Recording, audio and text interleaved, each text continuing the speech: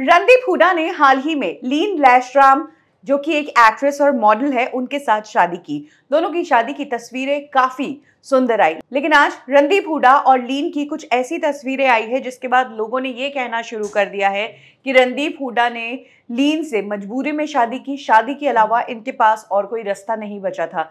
Actually जो तस्वीरें सामने आई है, उसमें लीन की हल्की सी टमी नज़र आ रही है। और लोगों का कहना है कि लीन जो है, पहले ही प्रेग्नेंट थी और क्योंकि बेबी बम्प नज़र आने लगा है, इसीलिए लीन और रणदीप हुडा ने शादी कर ली। सोशल मीडिया पर अब रणदीप हुडा और लीन लैशराम की लेटेस्ट तस्वीरें वायरल हो रही है। बताया जा रहा है कि ये तस्वीरें शादी के बाद की ही है और इन तस्वीरों में लीन का हल्का सा बेबी बम्प नज़र आ रहा है। सोशल मीडिया पर अब लोग कह रहे हैं कि अच्छा इसीलिए जल्दबाजी में शादी की क्योंकि लीन पहले ही प्रेग्नेंट थी। एक और यूज़र ने कहा कि बॉलीवुड ने एक नया ट्रेंड शुरू कर दिया है। यहाँ पर एक्ट्रेसेस प्रेग्नेंट पहले होती है और शादी उसके बाद करती है।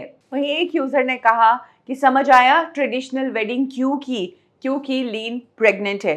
आपको बता दें कि जब लीन और रणदीप हुडा की शादी हुई तो ट्रेडिशनल मणिपुरी तरीके से ये शादी हुई और लीन ने जिस तरीके से अपने पति रणदीप हुडा को हाथ जोड़कर प्रणाम किया, वो तस्वीरें सोशल मीडिया पर काफ़ी वायरल हुई थी और लोगों ने काफ़ी प्यार जताया था और कहा था कि कितने सिंपल और सादगी से भरे ये कपल है। लेकिन अब प्रेगनेंसी की बातों ने लोगों की सोच बदल दी है। हालाँकि रणदीप हुडा या लीन लैशराम का इस पर अभी तक कोई रिएक्शन नहीं आया है।